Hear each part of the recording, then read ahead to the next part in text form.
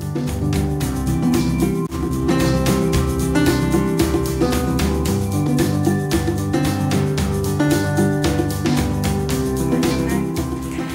Mañana un día importante porque se va a entregar el Premio Nacional de la Cerámica. Y esta mañana nos acompaña en Revista Jalisco Yunuen Estrada Martino. Ella es directora de este Premio Nacional de Cerámica. Bienvenida a Revista Jalisco, buen día. Muchas gracias por la invitación. Felices porque mañana se entrega y porque son muchos años de este reconocimiento, 41 años. 41 años y más que que esto estamos felices por el récord de, artesanos que tuvimos este año, por la participación de los estados que tuvimos. Se aumentó la participación tanto en estados, en obras, en artesanos. El edificio del Centro Cultural El Refugio está completamente lleno de cerámica de toda la República. ¿Cuántos estados entonces participaron? 30 estados. 30 estados. ¿Y cuántos este, artesanos? Tuvimos 1.170 y tantos artesanos de los cuales eh, registraron hasta dos obras, entonces casi andamos llegándole a las dos mil obras y piezas, pues. ¿Y de casa cuántos? Porque hay eh, muchos artesanos excelentes, Tlaquepaque, Tonalá también. ¿Cuántos se inscribieron de casa? tuvimos, tuvimos 250 artesanos del estado de Jalisco. ¿Cuál es em, esa visión que se tiene de cuando empezaron ahora? ¿Se acuerdan de cuántas obras se tenían al inicio? Sí, tuvimos una, un aumento de cuando se recibió la, administración. Bueno, cuando, cuando inició el premio, pues era muy local el, estado, eh, era muy local el, el concurso, invitaban a lo que era Michoacán y el estado de de Aguascalientes y algunos así muy cerquita, vecinos. pero eran alrededor de 200, 200 obras. Entonces, pues era una participación muy baja. Al paso del tiempo se ha ido aumentando del año pasado a, este.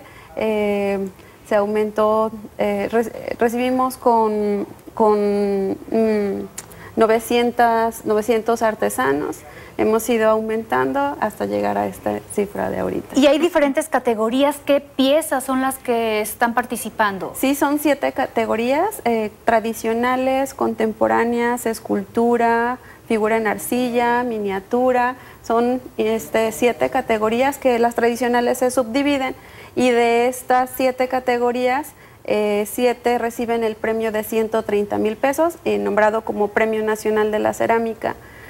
Siete más como premio Jalisco y diez como premio San Pedro Tlaquepaque, dos premios a trayectoria. ¿No hay una categoría de nacimientos? Sí, también tenemos la categoría navideña, la categoría de cerámica navideña.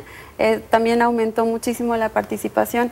Muchos más estados le apuestan ya a, esta categoría. Anterior era más local, lo que era el, estado de Jalisco, pero pues ya tenemos una participación bastante interesante. ¿Tuvieron un tiempo para inscribir sus piezas? ¿Venían de otros estados con su pieza para dejárselas aquí a ustedes? Así es, el día 26 pues se cerró a las 6 de la tarde, se cerró el, se cerró el registro y pues eh, ya se hizo ayer dictaminación de jurados, ya tenemos ganadores de por trayectoria y por las categorías, en cada una de ellas ya tenemos ganadores. ¿Y quiénes son esos jurados? ¿Son artesanos ya reconocidos de casa de Tlaquepaque? No, son este gente muy eh, adentrada en el arte popular, en el en el en arte contemporáneo, que son nombrados por Presidencia de la República, Secretaría de Cultura Federal, FONAR, Gobierno del Estado. Todos los miembros del Consejo Directivo hacen sus propuestas, tienen que ser gente muy, muy calificada, muy adentrada en este ámbito de la cerámica.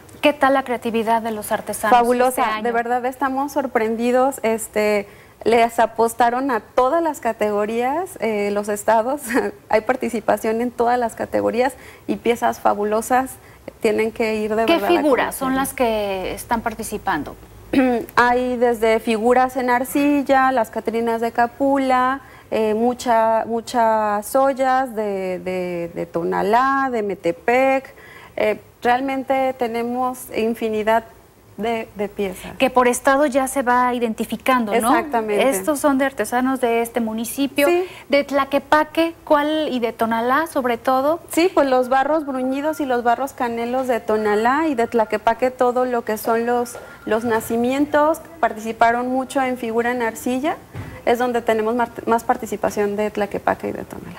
¿El público mañana podrá ver esta premiación? Sí, a partir de las 7 de la noche en el Centro Cultural El Refugio, Patio San Pedro, es entrada libre, están todos invitados y pues daremos a conocer quiénes son los famosos ganadores de todos estos premios. ¿Qué pasa con todas esas piezas que ahorita tienen ustedes? A partir del primero y 2 de julio se ponen ahora sí ya al público, se abre una expoventa que podrán adquirir eh, todas las piezas expuestas que no resultaron ganadoras y también lo que es el premio Jalisco y el premio San Pedro Tlaquepaque también se ponen a la venta.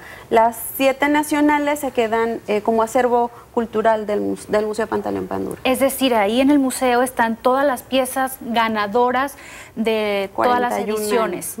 ¿Y cómo ha sido esa evolución también en lo que se presenta de, de las piezas. Sí, este, van, van haciendo sus nuevas aportaciones a la cerámica, eh, de tener la olla tradicional, pues les van haciendo algunas adecuaciones para ir evolucionando justamente eh, con técnicas nuevas. Hace muchas fusiones, justamente el Premio Nacional de la Cerámica ha sido un enlace fabuloso para que conviva un artesano contemporáneo con un artesano tradicional, con un artesano que ha tenido la posibilidad de viajar por todo el mundo y otros que no han tenido la oportunidad. Entonces, es una, una sinergia entre los artesanos que ha ido eh, produciendo cosas muy buenas. Me presentaron una obra donde ya tiene, es de, de Tlaxcala, donde este, tiene ya aportaciones de, de Paquimé, de, de Chihuahua y aportaciones de Veracruz. Entonces van haciendo unas fusiones fabulosas que pues tendrán que disfrutarlas. Uno de los objetivos de este premio es promover, por supuesto, la artesanía y recuperación de técnicas. Exactamente. En estos años, ¿qué técnicas se han recuperado?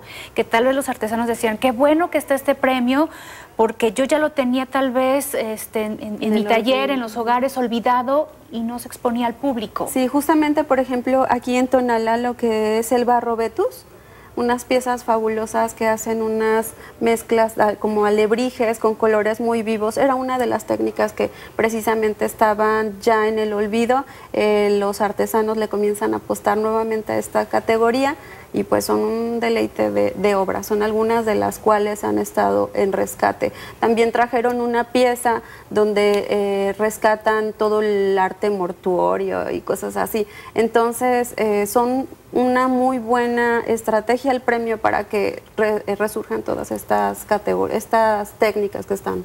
Esta venta que dices que se va a tener para los asistentes, ¿sí va a ser muy costoso por ser piezas que participaron en este importante concurso? No, realmente no. Eh, los artesanos traen unos precios muy accesibles para que estén eh, a la posibilidad de todo mundo. Son piezas de verdad inéditas, únicas, están preparadas para el Premio Nacional de la Cerámica, pero aún así no las hacen de, eh, un gran costo. A ver, algunos montos que nos pudieras decir. Hay piezas desde 250 pesos, hay otras y más costosas que son mucho más elaboradas, árboles de la vida que llegan a alrededor de, de 20, 30 mil pesos, pero ya son piezas muy, muy elaboradas, pero sí hay piezas e-, económicas desde 250 pesos.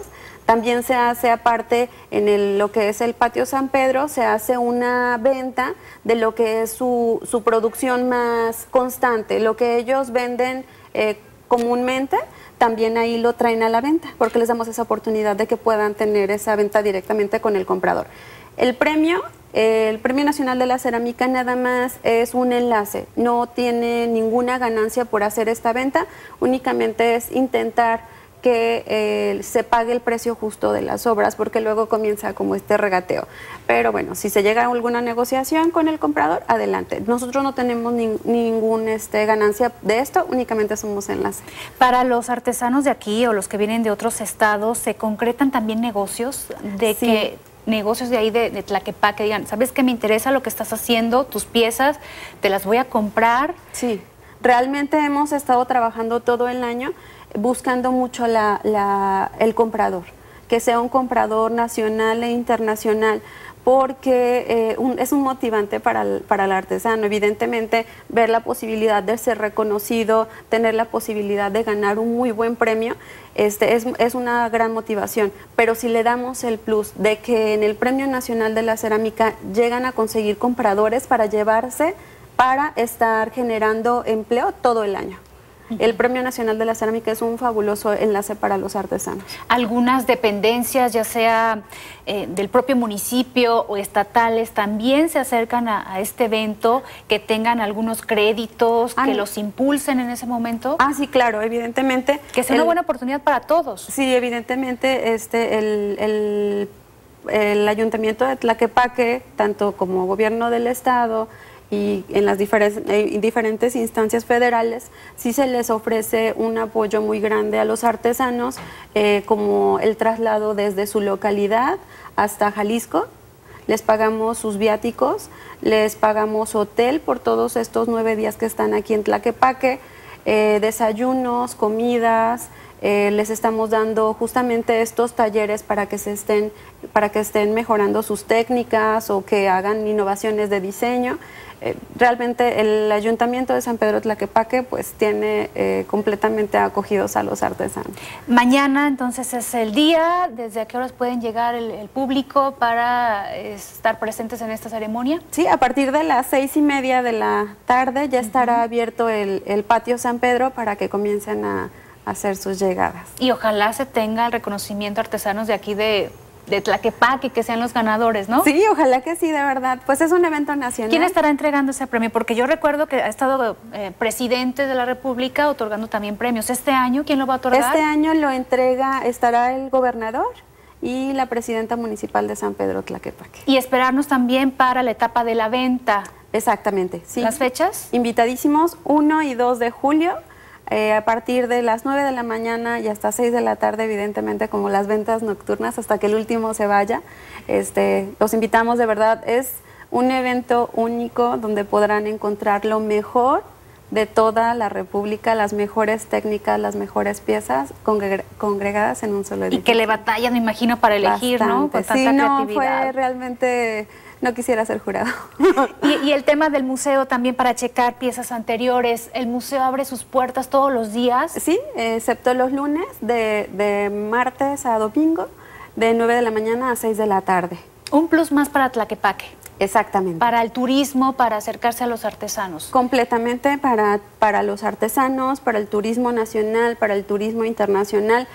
Los, los, compradores esperan con ansias el Premio Nacional de la Cerámica. Tlaquepaque está completamente, los hoteles completamente llenos de todos estos compradores esperando que se abra la venta. Y son de generaciones, me imagino, eh, papás, abuelos que participaron en alguna edición, ahora ya están participando los hijos, los nietos. Sí, realmente los talleres son muy interesantes porque participan el papá, el abuelo y lo van pasando de tradición de generación en generación y pues es fabuloso porque pues eso ayuda a que no se pierdan las no se pierdan los conocimientos y las técnicas. Pues vámonos a Tlaquepaque. Gracias por habernos acompañado esta mañana. Gracias a ustedes. Ahí los esperamos con mucho gusto. Eh, están invitados 7 de la noche a ceremonia de premiación. Gracias. Nos vamos a la pausa. Regresamos.